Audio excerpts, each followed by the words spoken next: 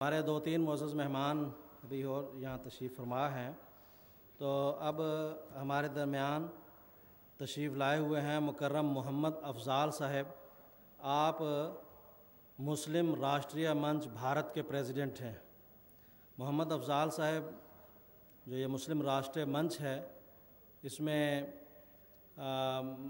तमाम फ़िरक़ों के और बाज़ और दीगर अफराद जो हैं मम्बरान हैं इसके। आपकी तरफ़ से दिल्ली में गुज्त दिनों एक प्रोग्राम किया गया था जिसमें मोहतरम नासा वाला की हिदायत पर एक वफद शामिल हुआ था। तो जमात को भी वहाँ ख़ास तौर पर मौका दिया आपने तकरीर का और कहा कि जमात का नुमाइंदा ज़रूर यहाँ तकरीर करेगा।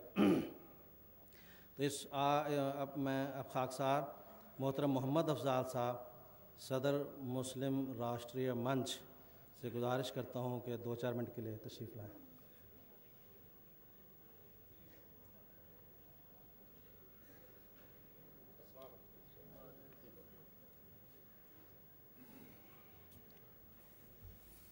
आउज़बिल्लिमिनशैतानरजीम बसमीम नहमदनसली रसूल करीम अम्माबाद फ़िरक़ अहमदिया के पाँचवें खलीफा, हज़रत मिर्ज़ा मसरूर साहब, इस मजलिस के सदर मोहतरम, हज़रत खुर्शीद साहब, मोहतरम तनवीर कादियानी साहब, मोहतरम इनाम अहमद साहब, कादियानी साहब, इज़्ज़त के काबिल डायस मोहतरम सामीन ख़वान हजरात असलकम वरहमल वबरक मोहतरम हजरात, जैसा कि मोहतरम तनवीर साहब ने फरमाया कि मैं एक तंजीम चलती है मुस्लिम राष्ट्रीय मंच उसका कौमी सदर हूँ। उसके नाते से मैं अपने जो जज्बात और जो हमारी जो तंजीम है, उसका नज़रिया आप सभी हजरात के सामने पेश करने की कोशिश कर रहा हूँ। मोहतरम हजरात, एक हदीस पाक है, जिसमें फरमाया कुल्लो कुम मिम बनी आदमा आदमा बिन तुराब। हम मानव जाति यानी इंसान जितने भी इस दुनिया में मौजूद हैं, चाहे वो किसी भी मज़हब, किसी भी मसलक, किसी भी फ़िरक़े, किसी भी जाति के हैं, वो चाहे यूरोपी हैं, चाहे अमरीकी हैं, चाहे वो एशियन हैं, चाहे वो ऑस्ट्रेलियन हैं, जितने भी हैं पूरी दुनिया में जो इंसान बनी नौ इंसान हैं, वो सब हज़रत आदम की औलाद हैं। और हज़रत आदम को मिट्टी से बनाया गया।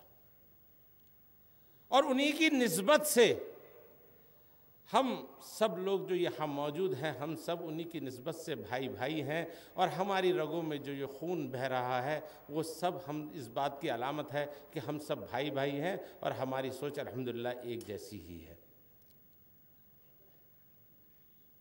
मोहतरम हजरात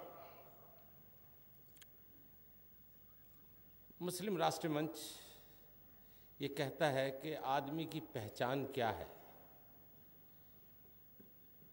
हमारी पहचान क्या है?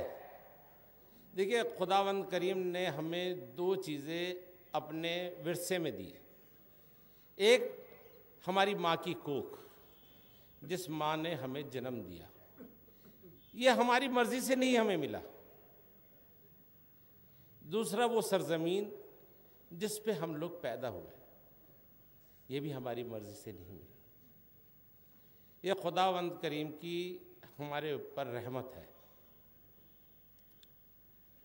जब हम अपनी पहचान, अगर जब हम इस दुनिया में आए तो हमें जो मज़हब मिला, वो हमें आकर इस दुनिया में, हमें विरसे में, हमारे बुज़ुर्गों ने हमें वो मज़हब हमें दिया।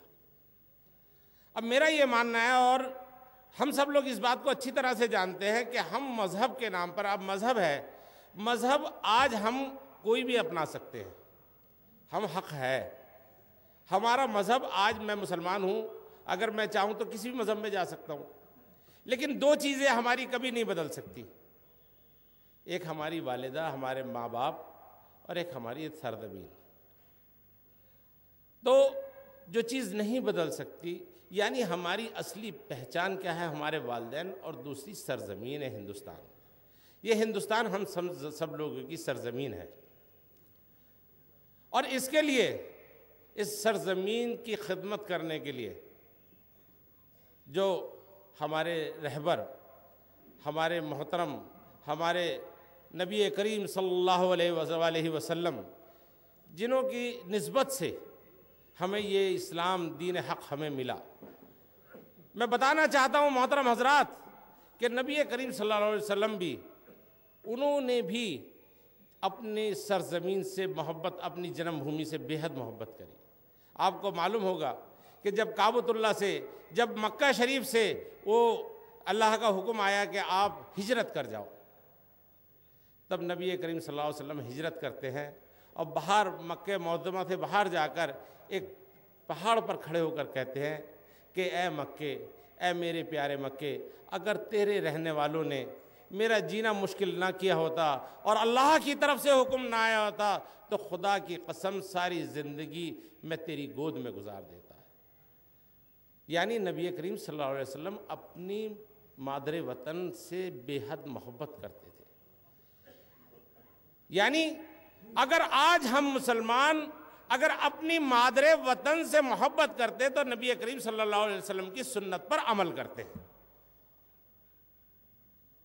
और जब हम अपनी मादर वतन, जब हमारी मादर वतन हिंदुस्तान है तो इसके रहने वालों से भी मोहब्बत करना हमारा फ़र्ज़ है। इसमें चाहे वो हमारा पड़ोसी है। देखिए, आज हम जिहाद की, बहुत मैंने सुना, आज सुबह से मैं सुन रहा हूँ, जिहाद के बारे में बात आती है।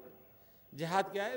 कुरान करीम बिल्कुल साफ़ साफ़ कहता है इन लजीन आमन व हाजर व जहाद माल हिमफी सबील्ला इन लजीर आमन, वो लोग जो ईमान लाए वह हाजरू जिन्होंने हिजरत करी वह जहादू जिन्होंने जिहाद किया, किस तरह से?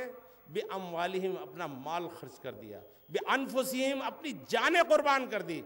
किसके लिए? फ़ी सबील्ला सिर्फ़ अल्लाह के लिए। क्या हम लोग आज जो ये जहाद करते हैं, क्या वो अल्लाह की खुशनुदी के लिए कर रहे हैं? जो इंसान इंसान को काट रहा है, क्या अल्लाह की खुशनुदी के लिए कर रहा है? आज जो ये फिदाइन दस्तों की बात होती है फिदाइन हमलों की बात होती है, क्या ये खुदकुशी नहीं है? और हम मुसलमान ये अच्छी तरह से जानते हैं कि खुदकुशी मज़हब इस्लाम में हराम है। और हम क्या कर रहे हैं? मज़हब के नाम पर क्या कर रहे हैं? हम उस पड़ोसी का ख्याल नहीं रखते।